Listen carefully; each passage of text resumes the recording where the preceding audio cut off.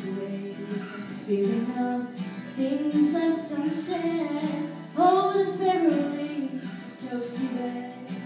To face the morning dread But he's gotta go another place To wish for instead